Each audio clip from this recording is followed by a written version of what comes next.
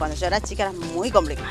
Teníamos que sí agarrar aguas. No teníamos alquiler, no teníamos nada. En ese entonces no, no había pozo, no había nada. Nosotros tenemos una represa.